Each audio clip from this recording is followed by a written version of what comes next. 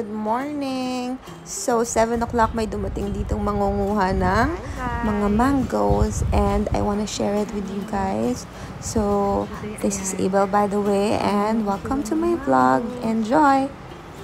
Actually, natapos na. Tingnan natin kung gaano kadami. Dito sa puno lang na to.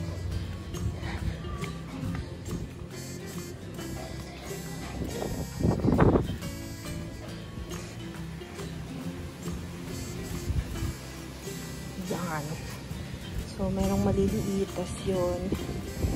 Ito. Dami. Yan lahat. Yan pa. So, pinipili nila. Naubos na daw. Eh, meron pa. Ayun pa, oh. Hindi na siguro nila makita. Ngayon, tara punta tayo doon. Tinan nyo. Tingnan natin sila dito. Para silang nasa third floor.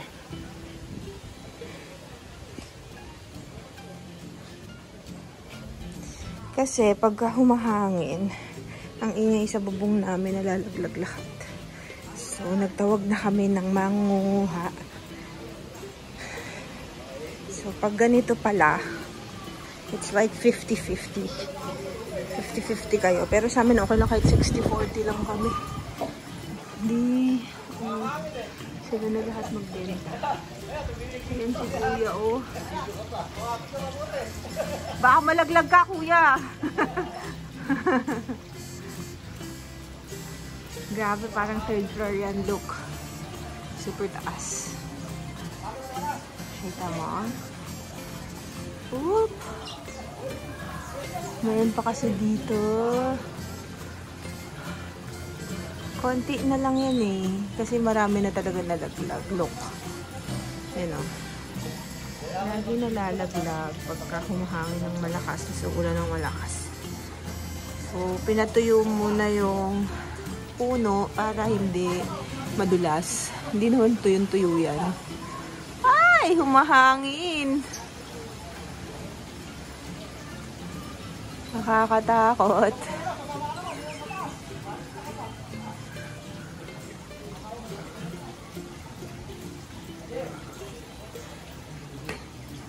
Hey guys, look.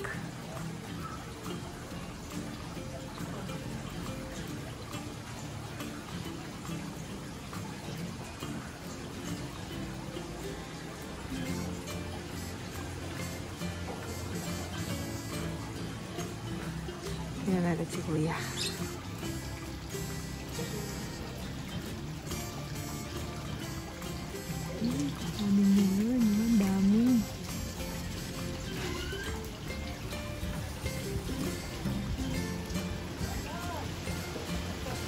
Ay!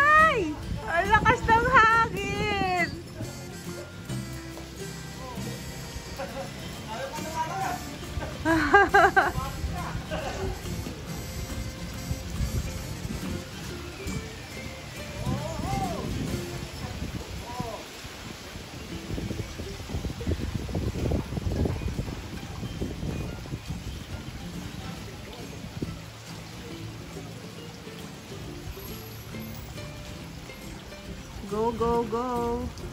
Yun o, dami, diba?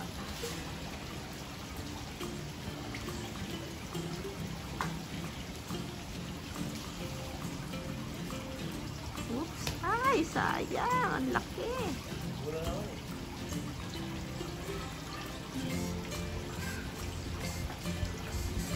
Oops! Oops!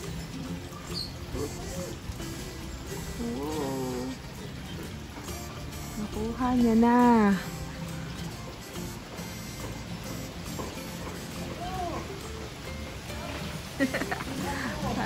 Hala! Yan ang pinamatinding. Para siyang nakasakay sa rides. Parang nakasakay sa rides.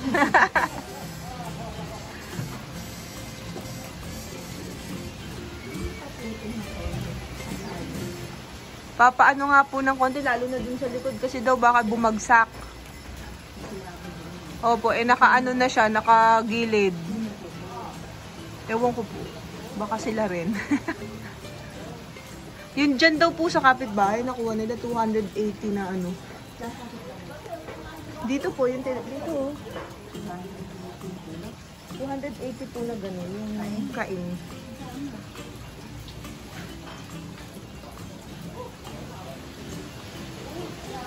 Ay! Ang lakas ng hangin! Galing ni Kuya, oh. Ang dami niya kagad na kukuha.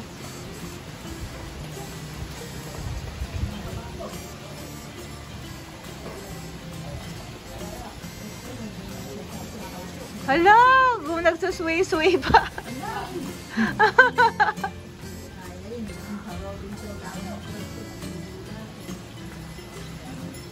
Hindi pwede mabigat dyan. Kailangan mapayat lang.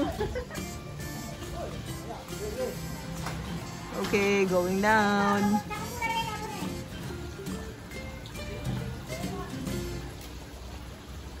Oop.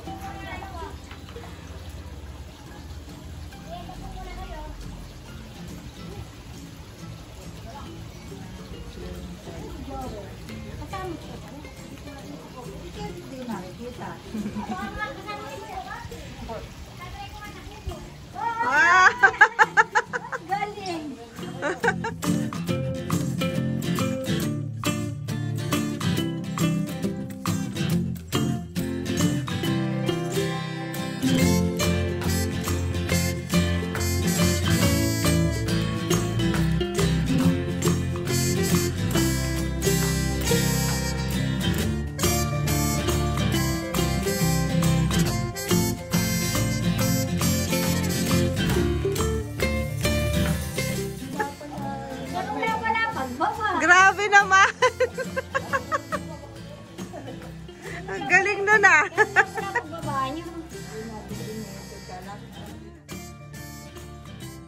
Galing guys, no? Grabe, nung nanonood ako na-amaze talaga ako.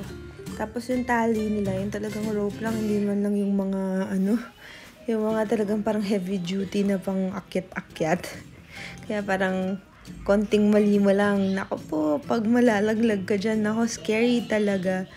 Yan, so at least maski pa paano natanggal na yung mga nahuhulog-hulog. Kasi hindi din makapaglaro si Brielle sa ano sa garden. Kasi nga scared kami. Baka malaglagan isa sa amin. Eh super taas niyan. So talagang mahihilo ka siguro kung mabagsakan ka kaya ayan mas maganda na rin yan tapos pagka umuulan yung bubong namin talagang bug nakakatakot kasi parang magugulat ka talaga dun sa tunog talaga ng mga ano ng mga ng mga mangoes na nahuhulog. Even Brielle, kabisado niya na once na may nalaglag na mango, sabi niya, bagsak mangga.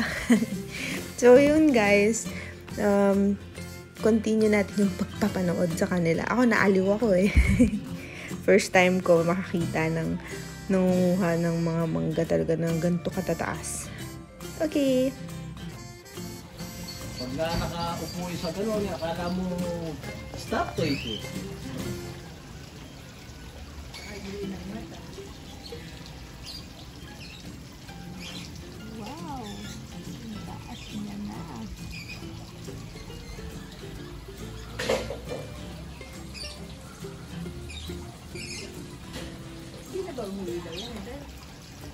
Po, tinanggal na po yung kuryente niya.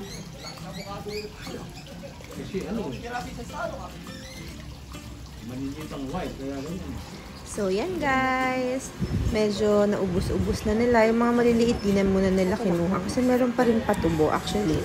So, ayan nga. Pinag-uusapan na din nila kung paano nila babawasan yung taas ng puno para at least hindi siya babagsak pagka merong may malaking-malaking bagyong dadating or whatsoever. Ready na din, di ba? Yan, so let me finish my vlog here. Ito yung mga nakuha namin. Actually, bawas na yan. Yung iba na iuwi na nung mga nanguha. And yun. So, thank you guys for watching. Please consider subscribing and please like and share. Thank you, mwah, mwah, mwah.